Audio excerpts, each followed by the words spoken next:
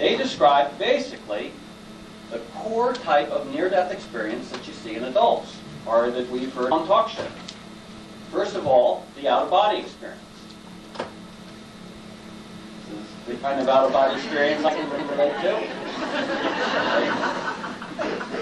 The only sort of out-of-body experience I've uh, ever uh, tried to, to have. That's not what these patients describe. This is what they describe. Now, I think this is very important. They, they describe themselves as hovering over their own body, viewing their own body. And again, in contrast to what I often see in the media, uh, hear on talk shows, or see uh, in movies, these patients do not describe the autoscopic uh, type of out-of-body experience where they zoom down hallways, go travel into distant lands, and such as that. They are preoccupied with their own body, and by and large, they report the details of their own resuscitation accurately. Here's a nice example of this. This is a young girl who nearly died of fulminant bacterial meningitis had a lengthy and extensive uh, hospital resuscitation. Here's my partner here, Dr. David Christopher. He has his hands perfectly interdigitated over her sternum, properly placed. The author of this uh, drawing, uh, a nine-year-old girl, she has properly drawn a hat uh, at our hospital. Uh, it is the, um, our custom that the team leader uh, wear a hat so that they can be instantly identified in the hub of resuscitation. Here we see the crash cart. And then here she is. And then she's floating out of her body. She sees, she draws this rainbow, which she tells me was a light that told her who she was and where she was to go. And then we also see some religious figures here. If there's Christians in the audience, uh, you'll be happy to know uh, that she identified this as Jesus and said he is very nice. and then, of course, don't forget this. I like you very, very much, Dr. Morse. okay, and then they have a perception of entering into darkness. This is a young boy um, nearly drowned uh, in a swimming pool. Here he is. He claimed that hands reached into his body and pulled him out. Here are the hands. He then was plunged into total darkness.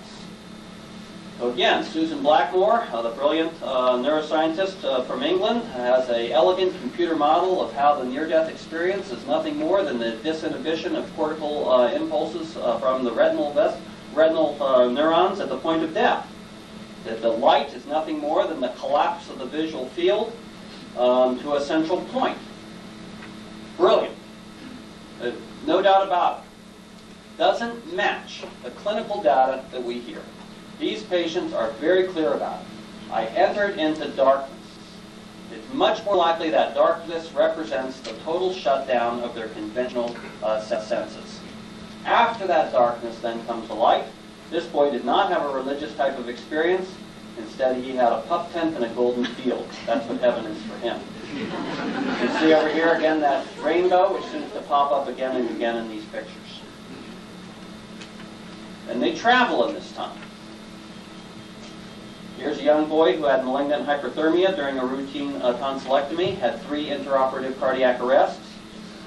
He says, forget my body, forget being alive. I just wanted to get down that tunnel to that light.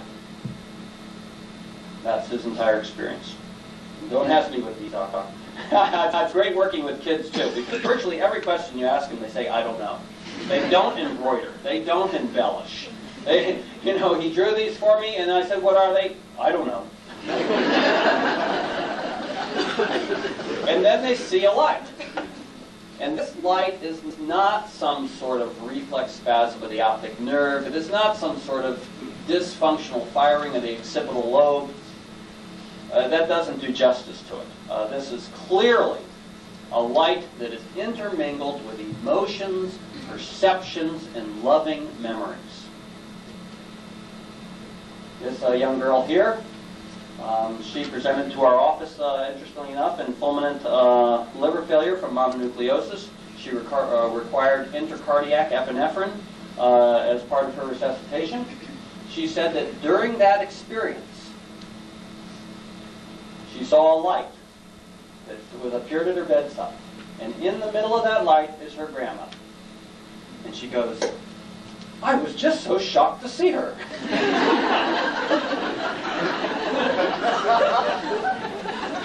and clearly, her grandmother had died two years, years earlier of cancer and uh, was a very comforting image to her in life. We heard earlier from Patrick Nicholson. It was his pets, you know, also comforting images to them. And then they often decide to return. Let's talk about these comforting images. So one, one thing, regardless of your philosophical bias, is we see comforting, meaningful, loving images that come to us from our own lives, from events in our own lives when we die.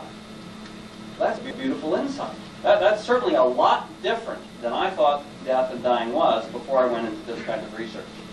Okay, the decision to return, many of these children perceive themselves as deciding to return.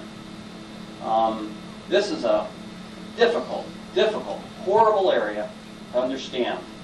Because please remember that many, many people then say, why didn't my child decide to return? My child loved me. Why didn't my child come back? And I don't have a lot of answers when it comes to understanding these experiences. And the one thing I want to share with you is to listen to these experiences and, and, and cry with your patients and hold their hand and just simply let them make sense of these experiences themselves. And don't be so quick to have an explanation for why their child might come back, etc. But I, I do think that, you know, I, I do remind myself that these patients are patients who are truly at the brink of life and death. I mean, no matter how much you love your mommy, you can't regrow, you know, uh, dead neurons or a totally damaged heart tissue. Um, you know, none of these patients are after-death experiences. None of these patients are miraculous uh, beyond uh, the understanding of, uh, uh, of medical science. I, I, think it's important to, to, understand that. These are patients who have started the dying process and have it, had, that process uh, stopped by medical technology.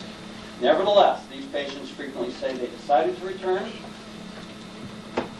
this young girl here who presented with diabetic ketoacidosis with a blood glucose level of over 3,000 she stated that three doctors were at her bedside. She's not religious.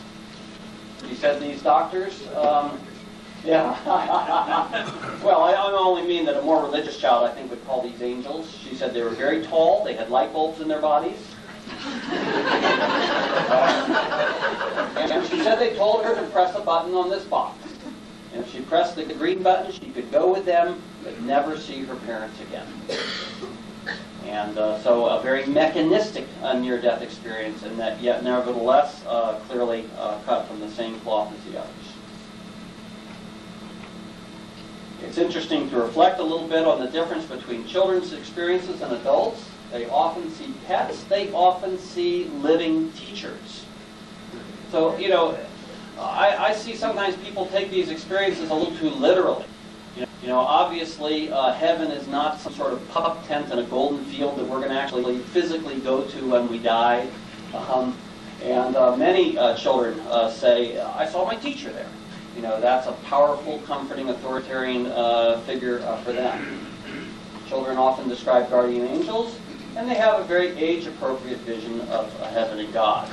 very young children will just say things like, I saw a pretty lady with bright lights. Uh, older children uh, will describe um, flower-filled scenes. And then when you get the teenagers, they describe the more adult kind of, you know, castles and heavenly gates uh, and such as that.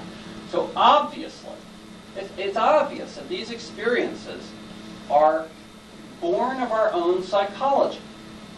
By that I mean that, uh, you know, remember I'm taking a philosophically neutral uh, point of view here. I'm not saying whether or not uh, this God that they perceive as a real God or really exists outside our body or not. I'm only making the common sense observation that when we die, comforting images from our own lives appear to us.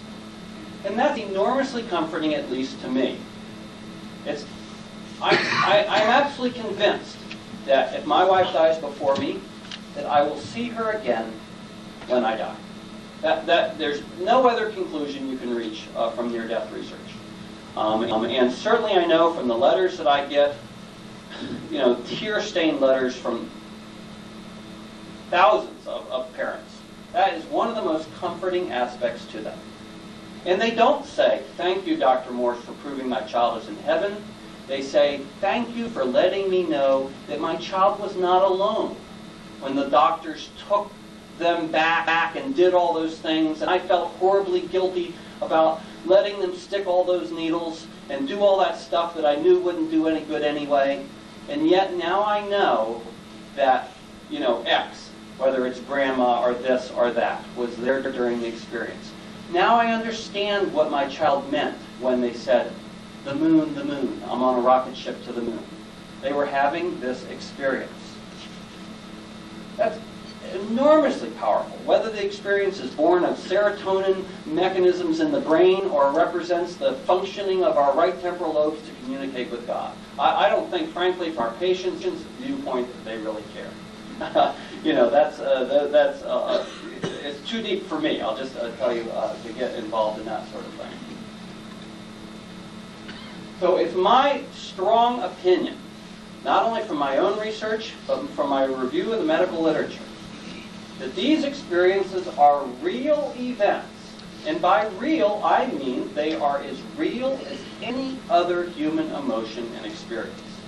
And leave it to the philosophers to define what is, you know, real. And they are clearly not some sort of diffuse reaction of a chaotic brain to anoxia. They are linked to right-sided deep temporal lobe brain activity. There's no doubt about it. Now, let me uh, review that with you.